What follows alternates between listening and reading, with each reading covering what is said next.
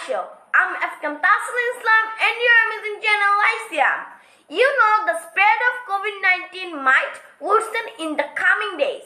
Nearly 90% of the hospital beds are now occupied. Another worst fear is the increasing rate of the dengue fever. The disease is generally mild but it can be deadly. There is no specific antiviral treatment for dengue. Dengue fever is a mosquito-borne virus affecting more than 390 million people each year. How can we prevent dengue fever?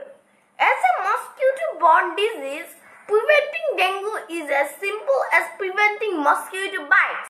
Mosquitoes usually breed in stagnant water systems, so remove their biological habitats.